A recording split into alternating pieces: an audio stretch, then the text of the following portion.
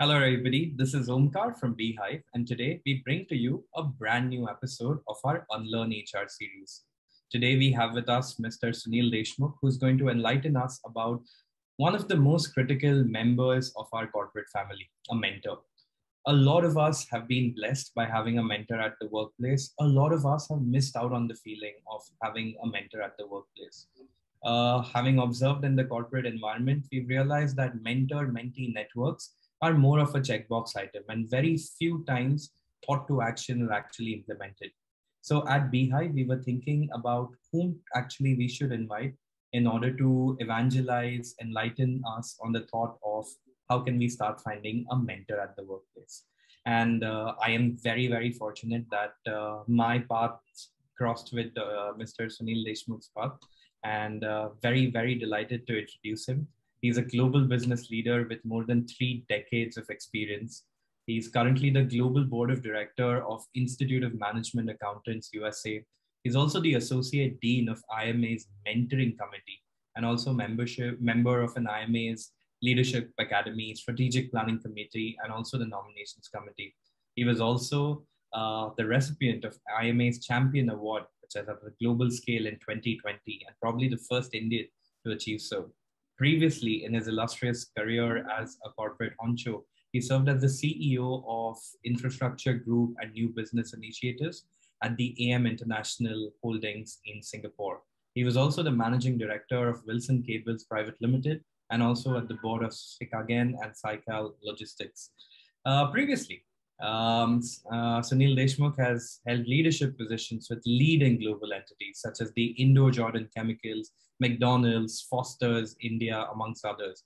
He's worked in a range of consumer services, including Africa, Asia, Middle East.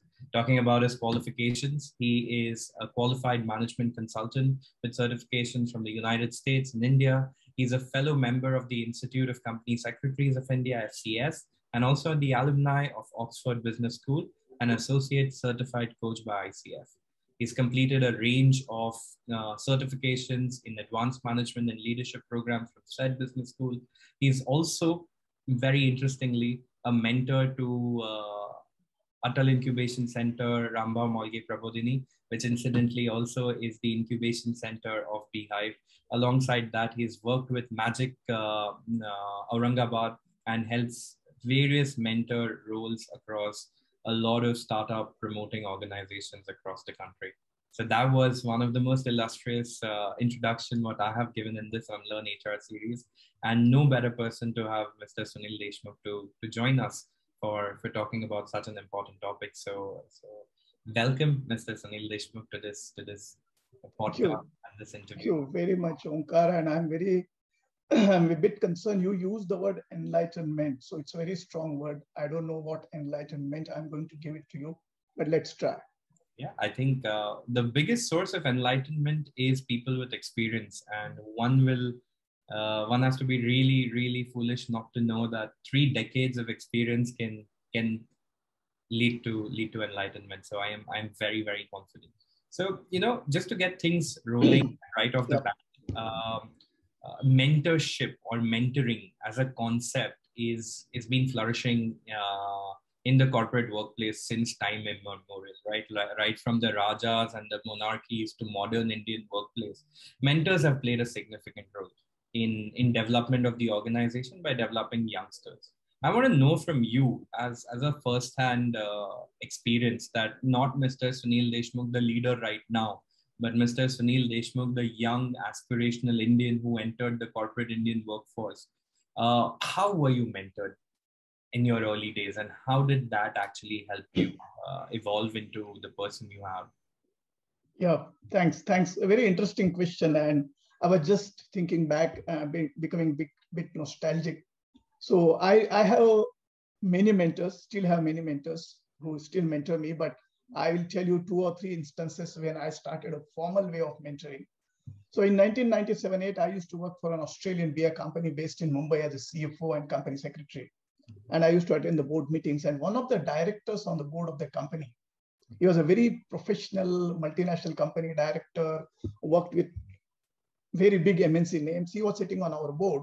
And he one day called me aside after the board meeting And he said, Sunil, I want to talk to you. So it was very informal chat, and we discussed so many things about management and how to run the business and all those things. I didn't know that my informal way mentoring is started. And then later on, we started meeting, I would say every alternate month for one hour, one and a half hour, other than the board meetings and all those things. And the formal mentoring started. And this guy, he, he, he did something very, very unique to me. He told me that, Sunil, you should not stop as a CFO of any organization. You are not meant to be a CFO. You are meant to be a CEO. Now, that was like a shock to me. I never imagined that I will become a CEO or a profit center head or a managing director. But this guy told me that I should work towards that. And he started helping me on that. So that's one of the fantastic experience of mentoring. I'm still in touch with him now 25 years. Yeah. The age of that person is 85 years now. And I still go and meet him once in a six months in Mumbai. He's old man now, but a lot of regards and respects to him. He lives in Bombay. And that's very, very delightful. And a lot of learning lessons from you oh, as well towards how do we maintain a relationship with a mentor even after if we can say the you know the value addition is is yep. work. So so fantastic. And now I have a question which is more towards role reversal. And mm-hmm. I'm pretty sure that you know you can you can take out a long list of people what you've mentored, but but is there anybody who um, who occupies a very fond place in your memory, uh, in your corporate journey that you've had uh, you've had the opportunity of mentoring, and how did that mentoring result into? Yeah, many. It's very interesting because there are many cases I was just trying to remember, uh, you know, and a number of cases because I always followed coaching-based leadership model in my three decades of life. So I used to mentor a lot of people but one thing which very comes to my mind is this guy used to be an internal audit manager coming from PwC type of organization to audit my organization, where I was sitting as a managing director on the board. Mm-hmm. And I, his, he was a young boy, or he is a young boy. His age is hardly 35 now. Today he's 35. So I used to tell him that you need to move out from this audit role and become a CEO type of person or a leadership person. And I started mentoring him. When he used to come to do the audit, I will sit with him for one hour and I will just mentor him, you know, do this, do this, have you done this, you know, do your SWOT or what's your roadmap, what's your vision and all those things. You will not imagine Omkar, three years back, three and a half years back, this guy got a job as a CEO of an American multinational company based wow. out of Chennai. Okay. So imagine from audit manager straight to a managing director of an American multinational company having turnover of around 250 crore having three plant locations. Wow, wow, that is. That is... And that was like, uh, you know, it was an aha moment for me. And he openly acknowledged this in front of many people in many gatherings, webinars that I have been mentored by Sunil, and that's why I'm sitting in this position. Yeah, that is that is delightful. I see that you know there is so much similarity between the the advice what you got and the advice which you are dispensing. Uh. It's it's I think the the law of yes. compounding, right? Where yeah. where it's um, uh, you know, I, I'm pretty sure if I would have met you three years ago, you would have said, told me the same thing that Omkar, you know what, don't be a professor, start becoming an, an entrepreneur or a CEO. So I'm glad that, you know, this conversation itself is an experience of, of mentoring from you. You know, um, I wanna I wanna now shift you from from a mentee then to a mentor to an observer, right? Mm-hmm. Because you have led so many organizations to its summit, to its to its ultimate uh, success uh, could you share a few experiences from, from your corporate journey where you observed a fantastic mentor mentee relationship bubbling within the organization? And maybe at the same time, if you could highlight certain traits of that organization that, you know, what was the culture of the company like? And uh, so that, you know, we can all get a context about how a good organizational culture is for, for mentor mentee network. Yeah, very interesting. And you use the word culture. So uh, what remembers or what reminds me is Peter Drucker used a terminology called culture eats strategy for breakfast. Yeah. yeah. You know, yeah. that was a very strong statement made by Peter Drucker. And I always remember that. Yeah. Strategy is important, but culture of an organization is more important than the strategy of an organization. Yeah. And if you have a right culture, you can do miracles in an organization. Yeah. When it comes to mentoring also, you need a right type of culture in an organization to be mentored or to be maintained you know I, I, have worked in multinational companies i have worked in family owned businesses for three decades all across the world africa middle east South Asia, India, and all. I have seen very few companies really utilize the mentoring program very effectively. Mentoring is not easy. What happens is typically organizations use mentoring for inducting the people in an organization. You know, when you've got a new batch of IITians or IIM MBAs, they're coming. So they said, okay, you got a buddy, you got a mentor, he will mentor you for three months.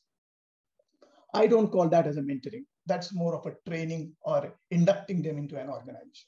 A mentoring is a systematic process. You need a structure for that. You need a framework for that. And you need the deliverables and outcome predefined and agreed by the mentor and mentee. And it has to work towards the interest of an organization. And most important thing is mentoring is not a speed dating. So it's not that uh, overnight you get mentored and you become so and so. No, mentoring is a slow process. A person needs to start changing. A person needs to start respecting and accepting the mentor, mm-hmm. trusting the mentor, and showing his own commitment. So that's very, very important. So very few organizations really uh, aptly are able to do that. But off late, there has been lot of good things happening in the organization as far as mentoring is concerned. Mm-hmm. What goes bad in a mentoring is uh, typically when you, like I said, speed dating, or if you keep a mentoring program only limited for three months or three sittings or two sittings, and there is no deliverables or outcome agreed upon in advance, then it goes like just go and have a coffee with a senior guy and something like that. That's not mentoring. Even though informal mentoring plays a role, but there's a limit to how much informal mentoring. You know, uh, I I really like that uh, that uh, a statement what you made that you know mentoring is not speed dating and it cannot happen in a short period of time. You know we are surrounded by companies which are termed as super successful and you know on the bottom line and the top line they are successful. But they have a very fast culture right? Um, you know we, we're talking about Nykaas of the world right now paytms of the world. Like paytm at least it's been 21 years now but Nykaas of the world or, or any top organization like PharmEasy is trying to uh, subscribe. And that's our definition of success. Now, amidst this rapid growth, amidst this rapid scaling, how does a slow, evolving, nurturing process like mentoring fit in into the, the success of companies? Because you know, uh, traditional companies or legacy organizations have that, if I may use the word vibe, which which supports mentoring. But over here, people are overworked. People are running crazy behind their KPIs and their targets. So how does the whole concept of, of mentoring, can it work firstly for these high-paced organizations? And if yes, then, then what do you think about it? See, I personally believe that every organization needs to have a sustainable plan. Sustainability is very important. And whenever we say a sustainability of an organization, we talk of three things, three P's I call it, people, profit, and planet. So let's forget about profit and planet because we are discussing mentoring. So let's come to the people. Now, people or people are the most important assets in any organization. Now, mentoring is a slow process. It you cannot expedite the mentoring process. The moment you start expediting the mentoring process, it gets into a training process and not the mentoring process. So what I'm trying to say is that average good mentoring program, according to me, should run at least for one year. Mm-hmm. And you are creating the future leaders of the organization. See, you are not, the mentoring is not to, you know, help ask someone to how to run a lathe machine mm. or how to get the extra production from your machine, you know, yeah. or how to enhance your profitability within one month. No. Mm. Mentoring is a process. It talks about career development. It talks about so many aspects. Means someone may want to get a new job as a head of let's say sales and marketing and he needs to understand the negotiation techniques, how to get negotiation or how to do that. So he needs to be mentored and it's a slow process. Mentoring also involves hand holding by the mentor to the mentee for a very long period of time. Mm-hmm. So to be effective, that mentor-mentee relationship needs to be sustained at least for one year, according to me, not for three months or six months. Uh, that's definitely not a mentoring, at least for one year both the parties need to be committed to the relationship and the sponsor here. When i say sponsor means the company or the organization which is sponsoring this mentoring process need to have a commitment towards both the mentor and mentee. And it's not like that overnight you say that oh by the way we are changing your mentor now. We are getting getting mr x in place of mr y and he will start mentoring you. No. It's a relationship. It's a arranged marriage Yeah. Which gets converted into a love marriage. and it should not get into the divorce. Yeah. Yeah. So that's yeah. that's how it works. Perfect. I, I really like that part, you know. Um, that compulsorily at least it should be minimum for for one year. And by the way, the best part is that if it is for one year, you know that the employee will stay for one year, right? So, so that's gonna reduce employee attrition at a at a large extent.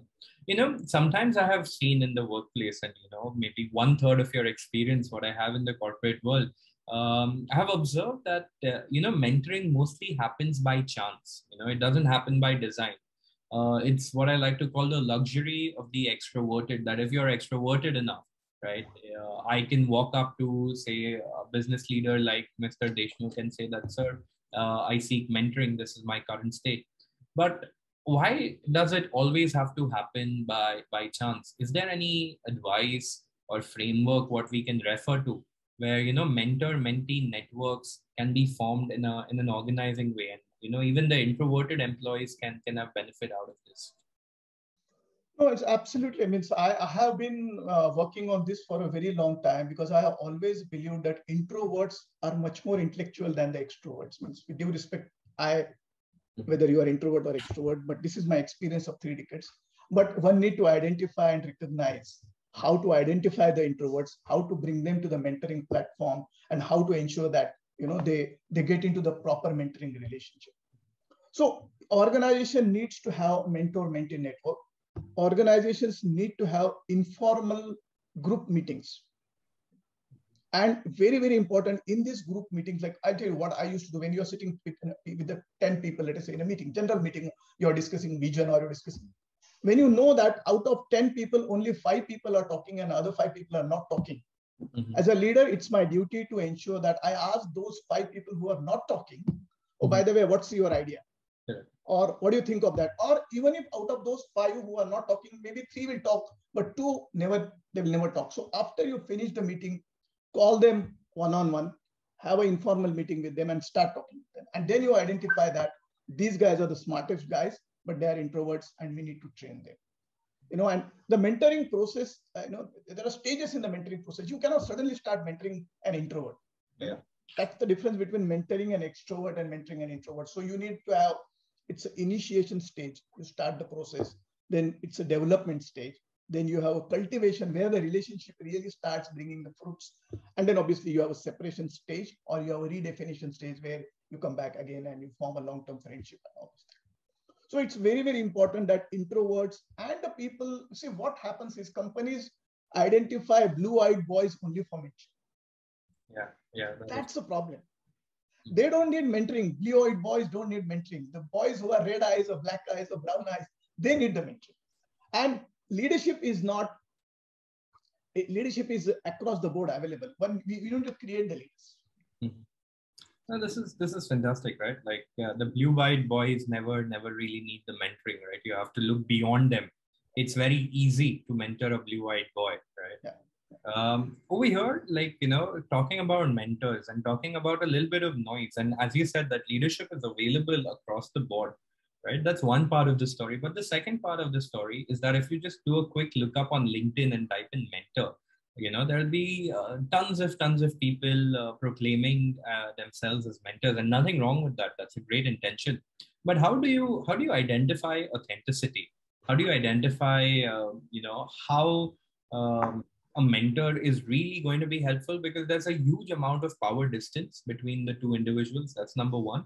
And then you also have to nurture the mutual respect right but if a mentor is not actually helping you or you know the mentor is more of what i like to say a namesake mentor how does one actually uh, unlearn that that whole process of of you know very gracefully uh, identifying and then suggesting that hey you know what this is this is not really working out yeah so it's it's so i always tell that identifying and finding a right mentor is a process mm-hmm. and you rightly said that you know you go anywhere in social media or whatever website nowadays, you have tons of mentors saying that I am a mentor, I am a mentor. What I would do as a mentee, assuming I want to get mentored by someone, I would have one session which we call session 0 mm-hmm. Session zero is basically understanding each other, which is of course not paid session. So I will have a session zero with that mentor and I'll ask him a lot of questions. Mm-hmm. So that's number one. And I have to find out whether my chemistry is matching with that mentor or not. That's first step. Second step is I will ask the mentor how many people here are mentored or mentored in past and can I speak to some of them? See, reference check, even though it's an age-old strategy, still works. Even in mentoring, even in doctor, you go to a family doctor, he refers to a specialist, right? Yeah. That's the same thing we are doing here. So ask the mentors how many people here are mentored, and you go and talk to those people. What is their experience or how they felt about it? Third thing is also you have to understand whether the mentor has got really time commitment for you to give it to you.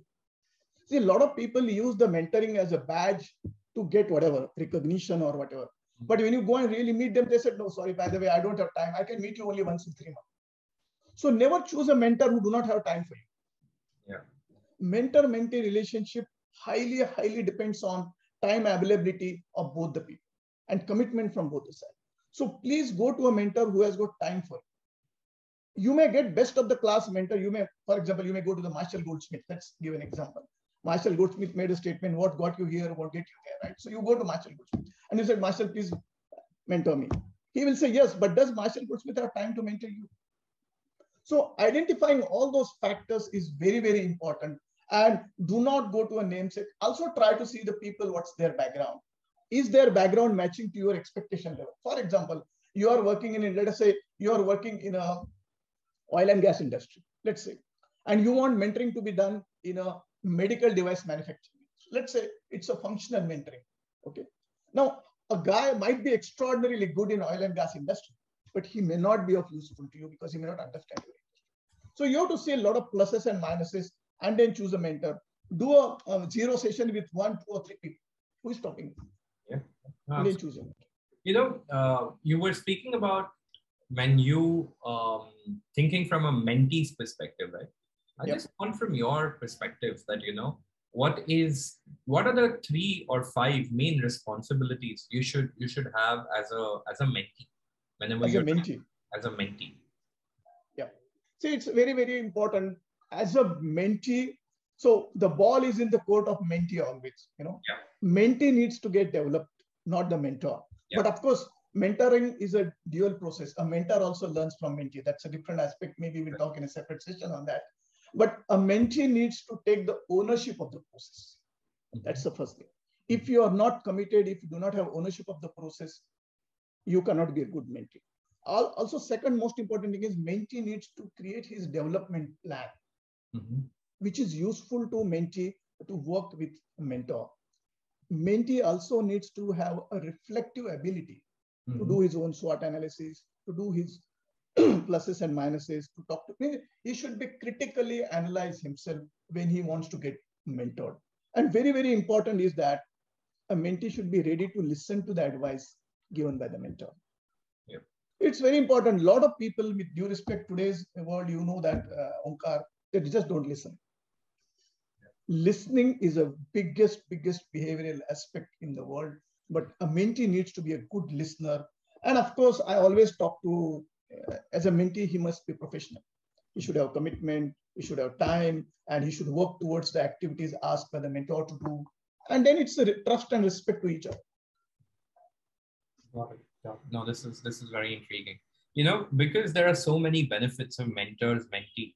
Um, but often, you know, HR directors who are possibly responsible for this, they look at this as more of a checkbox item, right? Three months, six months uh, as you rightly said, that they might mistake this with uh, training and not mentoring. If it's a, if I am a futuristic organization, if I'm a progressive organization, and let's say I'm the HR director of this, what advice would you give me if I want to launch a proper mentor-mentee network at scale within the organization? Yeah, very very interesting because I have gone through both the sides, the bad side and good side. So, but the basic thing what I look at, I'll tell you. See the mentoring, when you get to the mentoring or the framework or the process, what is very important for an HR department or the leadership of an organization is to think that they have to shift from ego-system to the ecosystem. Ego means ego, ego, our psychological ego, you know, child, whatever. So you need to move from ego-system to ecosystem because organization needs to continuously start creating the leaders for future. Mm. So mentoring is not a one-time process, and mentoring, mentoring is not a tick box item that HR department says that I have trained him, I have done his induction program, I have done his mentoring. No, no, no. Mentoring is a continuous process. So for that, there has to be a commitment from the top level, not only HR department, but from the board level. That's very important. So if you want an item to be removed from a tick box and becomes a culture of an organization, it has to come from the top management, which could be CEO, CEO, board of directors, managing directors. That's number one. Second thing is you need to have a proper framework of mentoring, not just that you match someone to someone and say, okay, you go to Mr. Vijay and start getting mentored. No, no. You need to have framework. Why are you doing mentoring? What is purpose of your mentoring? What are you going to get out of that mentoring program to that mentee? Or you have planned to develop someone, say five years down the line as a CEO or a CEO or whatever, or some position, you start the process now. It's very, very important. Now, other very important aspect is See, a lot of companies do not train the mentors. Yeah. See, training a mentor is also an aspect of HR department's work. Yeah. You, you are not born as a mentor, right? There are very few people who are born as a mentor. So if I want to be a good mentor, I also need to enhance my skills of mentoring. I need to understand so coaching or, or counseling or consulting the people or various other aspects involved. So train the mentors. Create the proper mentor pool. In your organization, you may have 20 leaders. But all of 20 leaders cannot be mentors, or they may not want to become mentors. So you have to identify four, five, six, and then keep on training them.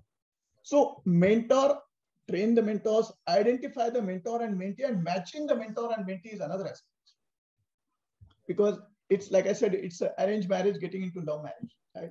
So how do you match the mentor-mentee relationship? There are many criteria. Obviously, we will not discuss everything, but there has to be a criteria in each organization. How are they going to?